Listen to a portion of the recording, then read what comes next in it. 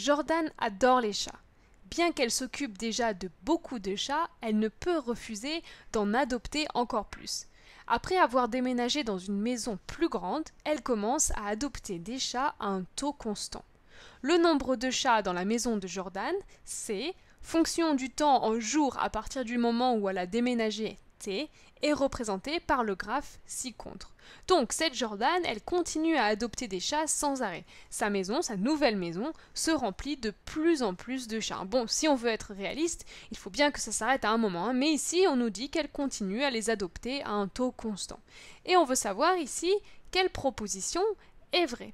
Alors la première, Jordan avait 10 chats quand elle a déménagé. Alors voyons, ici en abscisse, on a le temps en jour hein, à partir du moment où elle a déménagé. Donc à zéro, ici, c'est pile quand elle a déménagé dans sa nouvelle maison.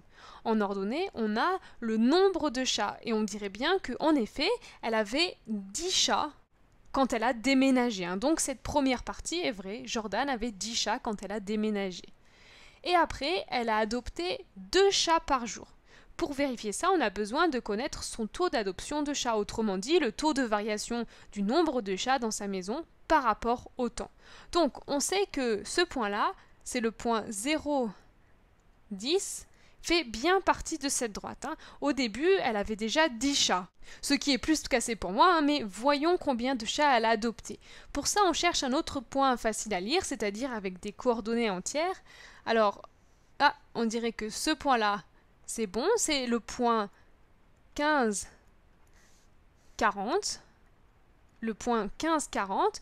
Donc, quand 15 jours s'écoulent, puisqu'on est à 15 sur l'axe des abscisses, quand 15 jours s'écoulent, donc la variation du temps c'est 15, combien de chats Jordan a-t-elle adopté? Eh bien, elle est passée de 10 chats à 40 chats. Donc, elle a adopté 40 moins 10 chats. Elle est passée de 10 à 40 chats. Donc, la variation du nombre de chats dans sa maison, c'est donc 30. Donc, le taux de variation du nombre de chats par rapport au temps, c'est donc 30 sur 15, c'est égal à 2. 2 chats par jour. Elle adopte 2 chats par jour. Après 15 jours, elle a 30 chats en plus, elle est passée de 10 chats à 40 chats en 15 jours, elle adopte donc 2 chats par jour. Donc cette première proposition est correcte. Jordan avait 10 chats quand elle a déménagé et après elle a adopté 2 chats par jour. On nous demande de choisir qu'une seule proposition, mais on va quand même vérifier les autres. Elle avait 3 chats quand elle a déménagé. Eh bien, ce n'est pas vrai. 3, hein. c'est à peu près ici, hein, nous on est à 10, donc on peut déjà éliminer cette proposition, ce n'est pas vrai, elle avait 10 chats quand elle a déménagé. Ensuite, elle avait 10 chats quand elle a déménagé, donc ça c'est correct. Et après, elle a adopté un chat tous les deux jours.